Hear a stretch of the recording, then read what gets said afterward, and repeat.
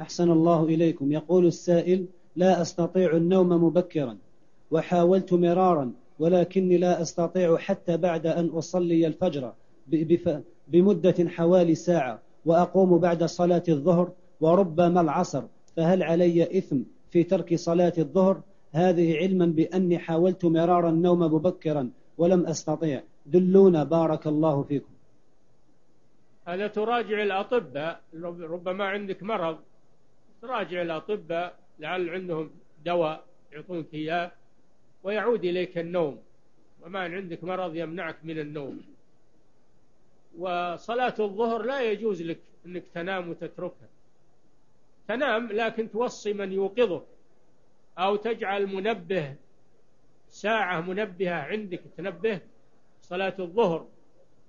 أو توصي واحد يوقظك لصلاة الظهر. احرص على هذا. No.